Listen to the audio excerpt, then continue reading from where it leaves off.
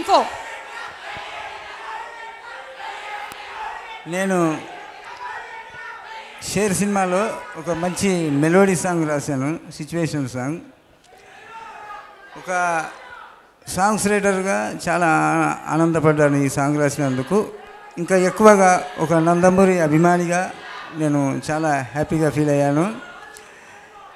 ఈ సాంగ్ రాయడంలో ఒక seven eight times Kalyan Ram గారితో నేను సిట్టింగ్లో కూర్చున్నాను. ఫస్ట్ టైం ఒక హీరో గారు ఇన్ని ఇన్నిసార్లు సిట్టింగ్లో కూర్చొని మాకు సజెషన్స్ ఇస్తూ రాయించడం అనేది చాలా హ్యాపీగా ఫీల్ అయ్యాను. ఆల్రెడీ ఇప్పటికే యూనిట్ సభ్యుల్లో ఇది సినిమాలో పెద్ద హిట్ సాంగ్గా పాపులర్ అయిపోయింది. మళ్ళీ మల్లి గారు మరీ షూటింగ్ టైంలో బ్యాంకాక్ నుండి ఫోన్ చేసి మరీ చెప్పారు. అందుకుండా ఈ సాంగ్ చాలా సూపర్ హిట్ అవుద్ది అని చెప్పి నైనా నైనా అనే సాంగ్ చాలా హ్యాపీగా ఉంది.